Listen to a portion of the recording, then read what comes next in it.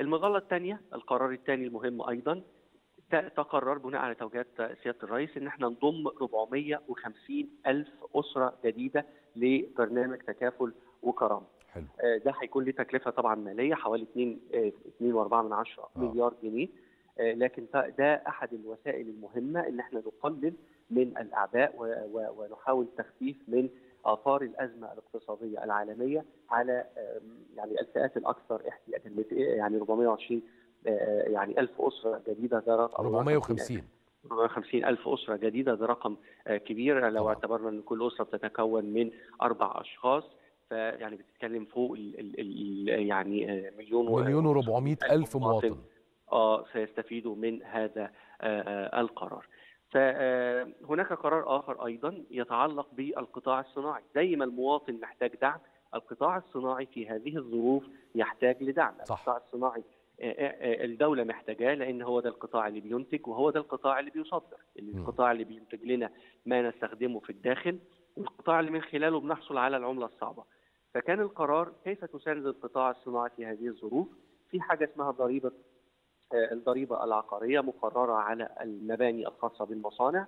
تقرر أن وزارة المالية تتحمل عبء هذه الضريبة نيابة عن المصانع. لأن طبعا القانون لا يسمح بالإعفاء لأن تقرير الضريبة بقانون والإعفاء منها بقانون. طبعا. القانون لا يسمح حاليا بإعفاء المصانع. لازم جهة تتحمل التكلفة فالجهة دي هتكون وزارة المالية بتكلفة تقترب من 4 مليار جنيه خلال الثلاث سنوات يبقى الدولة هي اللي هتشيل ده على كتفها فلا يتحملها المصنع فيضطر إلى زيادة أسعار ويجي يقول ما أنا بدفع ضريبة.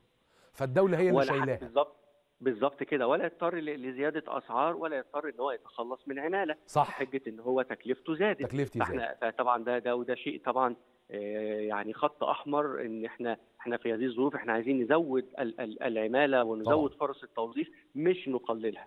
فدي كان أبرز ال ال الحزم اللي يعني قررتها الحكومة لمواجهة الآثار السلبية للأزمة أظن كمان حاجات متعلقة بالبورصة والأرباح الرأسمالية وما إلى ذلك لدعم وتنشيط البورصة. والنهاردة إحنا شفنا الانعكاس حصل على البورصة إزاي؟ بالظبط كده. اولا في حاجتين. الحاجة الأولى في 130 مليار جنيه تم تقريرهم أيضا كاحتياطي يخصص ل تعامل الدولة المصرية مع تداعيات الأزمة في الفترة القادمة. هنستخدم هذا المبلغ في التخفيف من أعباء وتبعات هذه الأزمة. والجزء اللي حضرتك ذكرته فيما يخص البورصة جزء مهم جدا، ما حدث للبورصة اليوم تاريخي، صعود تاريخي لكل مؤشرات البورصة المصرية. نتيجة القرارات اللي تم اتخاذها اليوم، فالبورصة استجابت على الفور وده يعكس ثقة متزايدة في الاقتصاد المصري. الحمد لله نحن الآن في وضع أفضل كثيرا من 2016 لأن النهاردة الناس لما الدولار اتحرك في البنوك الناس افتكرت أيه. 2016 لا إحنا إحنا اليوم في وضع أفضل بكثير من 2016 لأن إحنا عملنا برنامج إصلاح اقتصادي كان مشهود له بالنجاح لمدة ثلاث سنين من 2016 ل 2019 فكل التحرك الإيجابي فيها في البورصة اليوم ده لسه في بكرة. إن شاء الله مجلس الوزراء سيناقش حزمة دعم للبورصة المصرية. فيعني إن شاء الله في أخبار مزيد من الأخبار الجيدة للبورصة المصرية غدا عندما يناقش مجلس الوزراء في اجتماعه الأسبوعي المقترحات الجديدة لحزمة التحديث طيب هايل جدا. سيادة السفير يمكن برضو من ضمن الحاجات اللي لازم الناس هتبقى مهتمة بيها وده حقهم.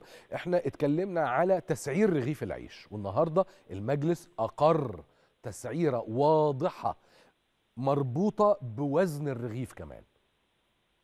بالظبط كده. الرغيف الحر ده رغيف مهم جدا. زي ما الرغيف المدعوم اللي هو بخمسة قروش وسعره ثابت من سنة 1988 ده شيء شديد الحيوية بالنسبة للمواطن المصري. أيضا الرغيف الحر مهم لأن هناك أسر تعتمد في غذائها. طبعا حضرتك عارف يعني قيمة الخبز للمواطن المصري حتى يعني تسميته إحنا الدولة الوحيدة اللي بتسميه يعني عيش من من العيش ومن الحياة. طبعا. فالرغيف الحر مهم. علشان كده كانت توجيهات سيادة الرئيس إن إحنا لا نترك هذا الرغيف وسعر هذا الرغيف يعني لأهواء التجار يقرروا ما يشاءون فيما يخص سعره.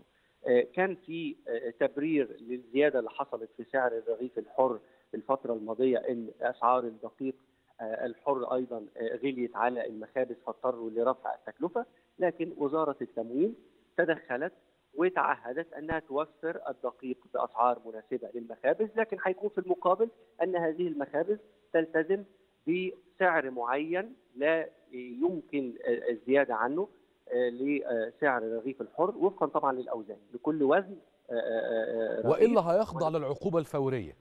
ويخضع طبعا لعقوبة فورية وعقوبات رادعة تضمنها قرار رئيس الوزراء اللي اتنشر في الجريدة الرسمية اليوم. فده يعني خبر جيد جدا بيمثل وضع الأسس أو وضع يعني كل شيء في نصابه فيما يخص الرغيف الحر. بقى دلوقتي عندنا سعر محدد لا يجوز لأي مخبز إنه يزود السعر اللي بيبيع بيه رغيف الحر عن هذا السعر وهيكون في رقابة مسددة وإجراءات رادعة تجاه من يعني يخالف ذلك.